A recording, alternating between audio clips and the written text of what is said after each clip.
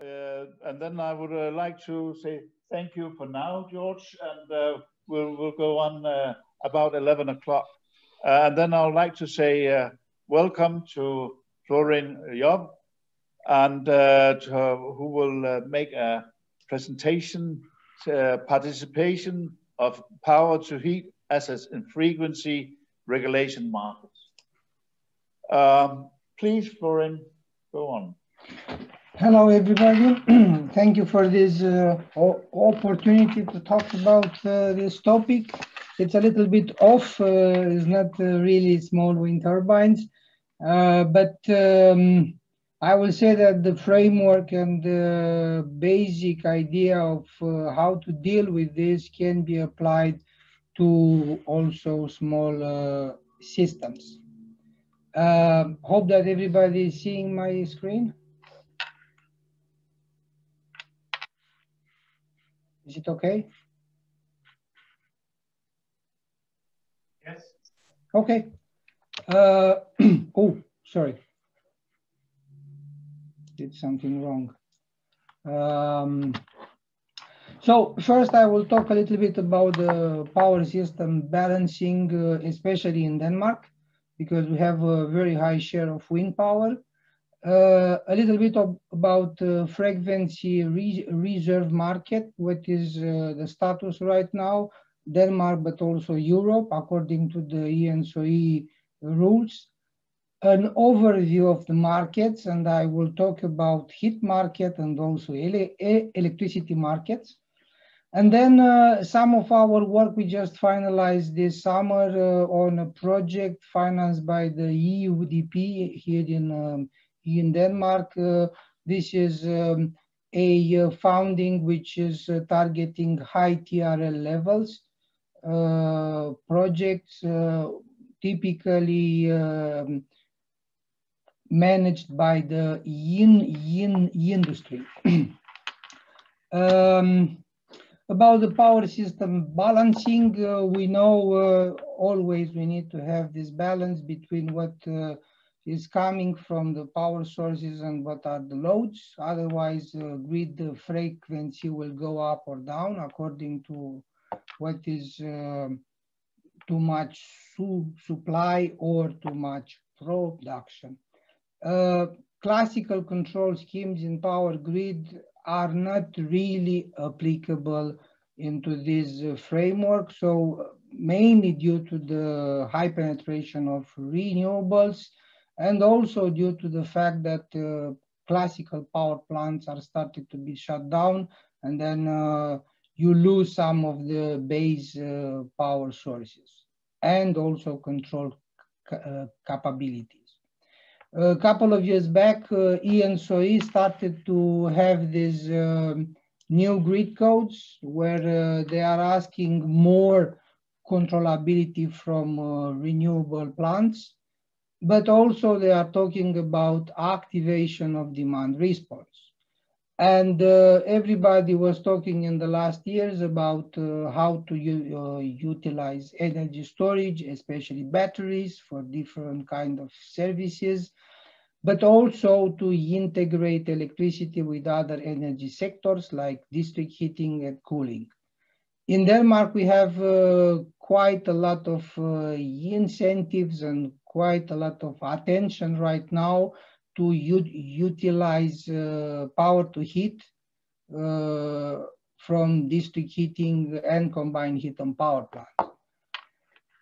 Um, just as uh, to back up what I was saying, these are some screens from Energinet uh, webpage, uh, the actual production consumption couple of years back where uh, not too much wind, but uh, quite a lot of uh, solar power that day, and then uh, half of the uh, energy of the energy needs was, was coming from uh, interconnection lines.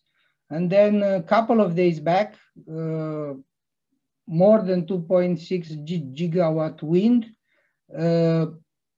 solar power not too much, but um, this can vary from day to day, and this is why it's so important to keep the balance and keep uh, everything uh, properly in terms of power uh, balance. Uh, if we look at the maps, the left one is uh, the Danish power grid with all the wind turbines and the PV plants, while on the right side you have the district heating with quite a lot of combined heat and power plants, district heating units, small ones, and also the large ones, some of them being shut down in the next couple of years, like uh, the one uh, near uh, Aarhus area. And um, on this thermal side, uh, at least we have uh, couple of numbers of com combined heat and power plants uh, and district heating plants for the public heat supply, mainly cities and villages. Then um, private heat su supply mainly for the enterprises and companies and so on. And the heat pumps are ranging from kilowatt to megawatt size uh, from household level. There are still uh, quite many houses with uh, heat pumps, but also the large ones which are about to be uh, installed in the combined heat and power plants. Heating storage is already used and uh, the size varies also from uh, hundreds of kilowatts to, me to megawatt size. Uh, according to Danish Energy Agency, uh, electric boilers and heat pumps, I will skip the other two items, uh, can be used to couple this electricity sector with the district heating and also to utilize the excess of electricity from wind turbines, which is quite a lot in the winter due to the good wind conditions to store it as uh, heat. And this is will give also the options to go to frequency regulation markets. If we look at the actual um, schemes which are not anymore primary, secondary, and tertiary when we talk about uh, grid, uh, grid frequency control. Uh, we have this uh, fast response, uh, FCR. Then we have the uh, frequency restoration process, mainly FRR, automatic and manual, and then we'll kick the last re, re, reserve uh, to bring back the um, the grid frequency to the 50 hertz. Uh, the Danish grid is split in two parts. We have the um, western part, uh, Jutland, and then we have uh, Sjælland on, on the other side. So what I will uh, talk in the next slide will be mainly focusing on the DK1, the, the Western grid. And then uh, we have these options, as I said, the FCR, uh, automatic FRR and manual FRR, and there are different platforms to trade this. The market volume is also quite small for FCR. It's about uh, 20 megawatt around in the last couple of years, but there is a lot of uh, options for automatic FRR and manual. And this is uh, where uh, maybe the power to heat units may be con con contributing and also have some ad additional revenue stream for the owners. Uh, what is also quite Im important here is to look on the bidding uh, process. And uh, in the day ahead, you need to make the bids for the automatic and manual FRR about 9.30. And then you have the spot market about 12, uh, 12 and then you have the manual 14.30 uh, additional ones, and then the FCR will come late uh, in the day. And then you may update uh, to, and go for the yin, yin, intraday market in the running day. Uh, what is also quite uh, in, interesting is that for the automatic FRR, you need to uh, get pro procurement of supply one month before. So there is another set of auctions one month before saying, for the next month, I will do this and that. While for the manual, you can do it uh, intra hour, day, month. Uh, it's based on what you may be able to do for this service. Uh, also the bids. Uh, for the FCR, you have quite a small bid. Uh, it's about uh, 0.3 megawatts or 300 kilowatt bid since the market is quite small. But uh, for the automatic and manual, you need to come with quite large bids, minimum one to 50 and then five to 50 megawatt for the manual FRR. Um, at least these two are automatic and manual. We need coupling to the SCADA, to the TSO control center, and they are asking updates, uh, quite a long list of uh, what you are able to do every four to 10 seconds. While for the FCR, you have just a local control that will run uh, based on the local measurement. So you will need to measure grid, uh, grid frequency in that point. And then uh, in terms of response, this is also uh, quite important here because this will tell you how fast should be your plant, your unit to contribute into these markets. If FCR is asking quite a fast response, you need to have uh, full uh, power uh, according to the bids in 30 seconds. While for the automatic FRR and manual, you may wait about uh, 135 seconds, but you have to give at least 85 uh, percent from the commitment in maximum 15 minutes. So here the, the response is a little bit slower. Uh, especially for automatic FRR, this is uh, one example from Energinet how this units can be coupled and uh, you need to have uh, at the balanced uh, party uh, level some control and then dispatch set points according to the global set point that will come from the Energinet. And then you need also to give back to them what you are able to do, what is the status right now. And then on the right side, you can see uh, a typical test, a response to a ramp. So you need to give this uh, red curve here as an output of your plant on a signal which is coming from the TSO.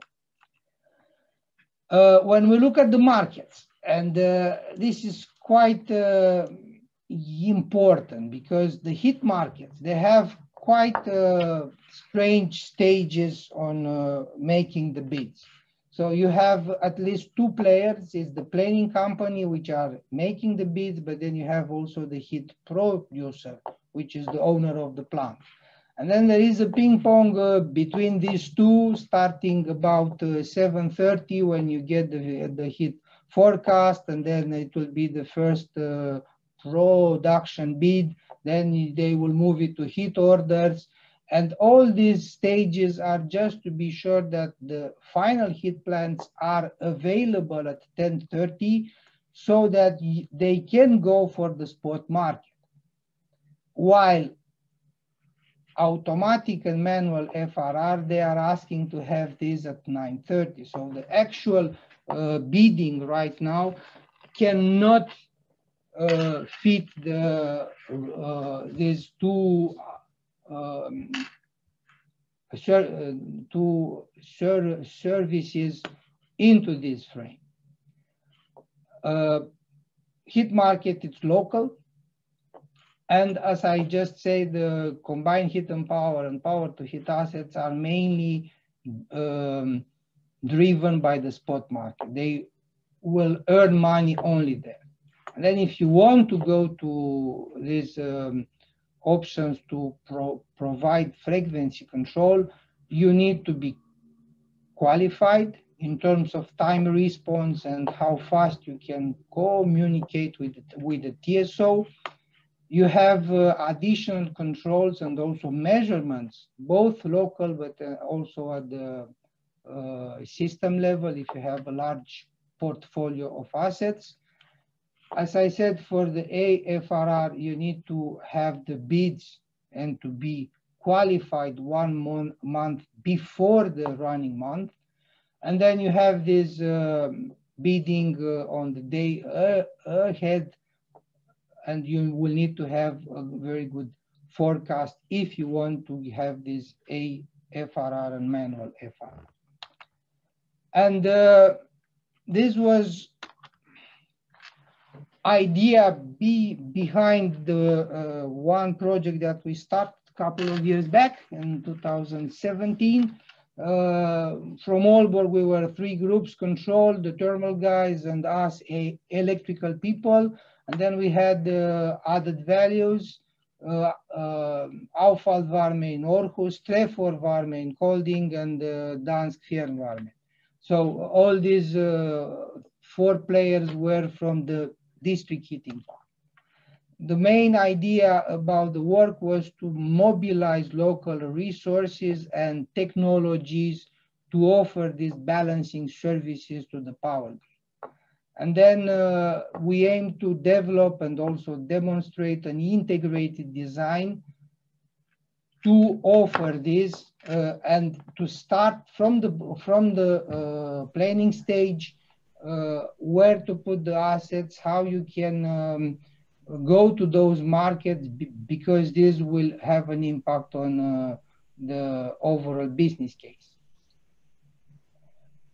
and then uh, we had uh, three pilot cases, uh, two in Aarhus area and one in Kolding. And uh, in the end, we need to show this into, into a real-time control hardware in the loop environment that this uh, frequency control can work according to whatever is stated in the grid connection rules. And this is what I will try to show you in the next slides.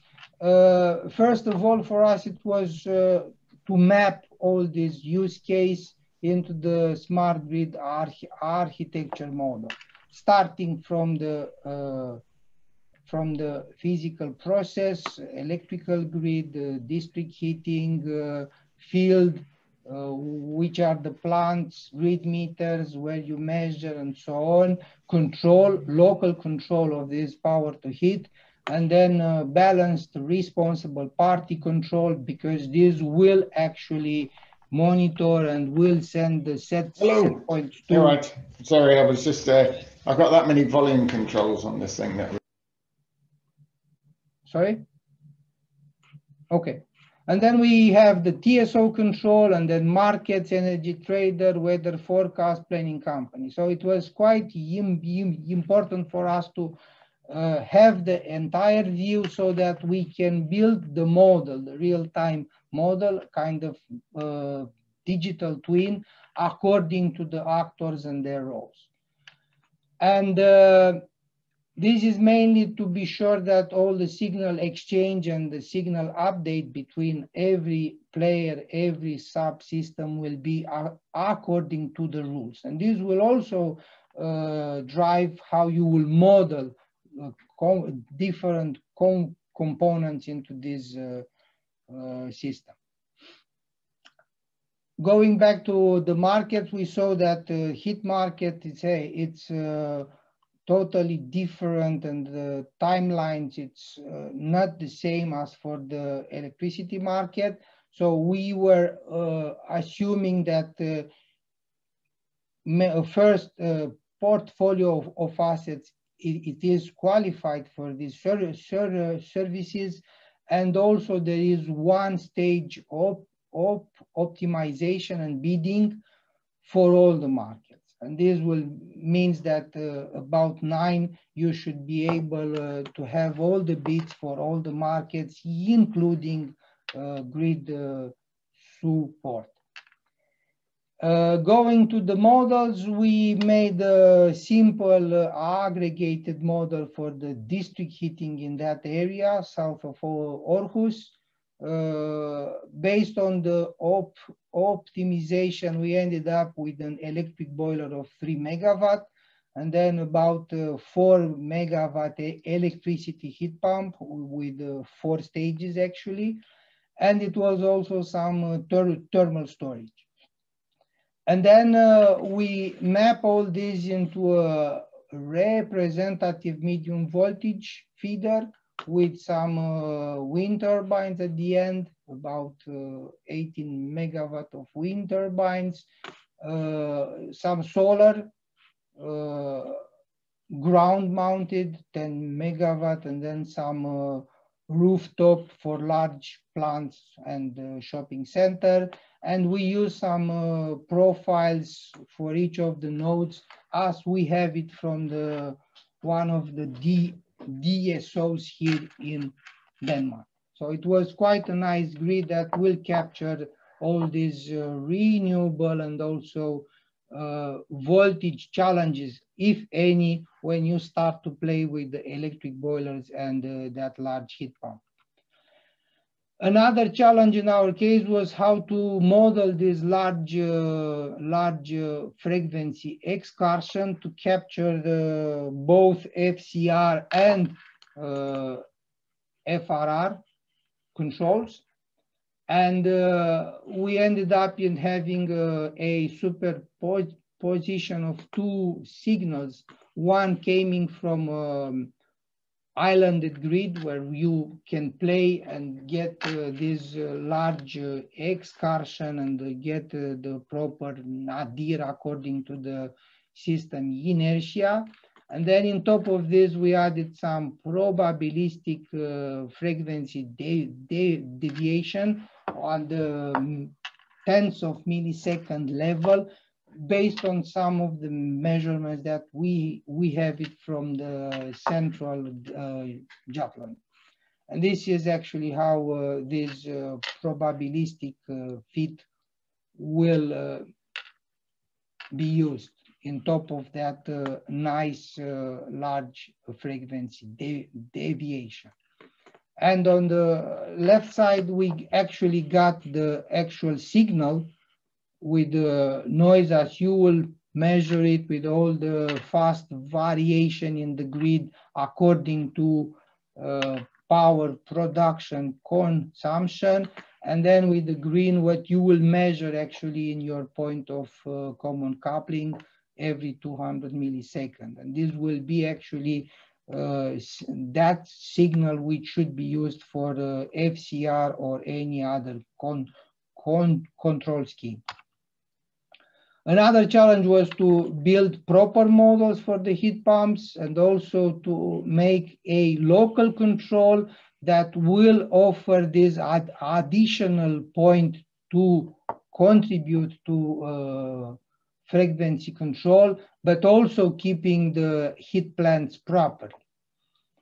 Uh, and also we saw that uh, most of the large heat pumps are uh, custom uh, systems uh, there is not too much uh, parameters on the public domain and uh, control should handle some uh, model parameter un uncertainty to find out uh, what will happen if you don't have very good knowledge on what is there in terms of time response of those power to heat units. And we move all this into the lab. We use uh, Opal RT to actually model the electrical grid and the power to heat units and the local control of this. And then the BRP, we use an industrial PLC where you have the FCR control and the runtime dispatcher that will split the overall set points to boiler and heat pump.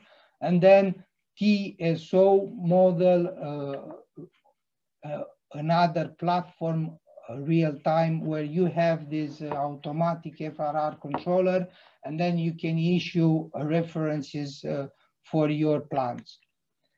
and uh, on the right side, uh, how we put it into the lab so that everything is running according to the smart grid architecture model. some of the curves, and I will uh, try to finalize soon. Uh, for the heat pump, that was really challenging to find out that uh, if you don't know exactly what are the dynamics of your heat pump, you may end up in not having a very nice response, especially when you have a step uh, re, re, request from the T, TSO. However, if you use the typical um, signal to uh, qualify for automatic FRR, everything is smooth and uh, your heat pump will operate properly. And then we bundle up everything and then uh, for a large grid, uh, grid frequency excursion, we actually look in what will be the response from the heat, uh, heat pump and the electric boiler. And we actually capture this into this response, both FCR and FRR.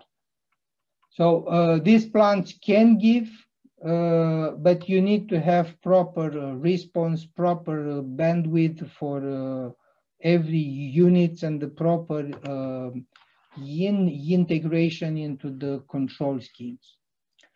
Um, so yeah, just to sum up, uh, more renewables into the power grid will lead to uh, more cross-coupling between energy sectors. Uh, power to heat assets, uh, electric boilers and heat pump can con contribute to the power ba balancing.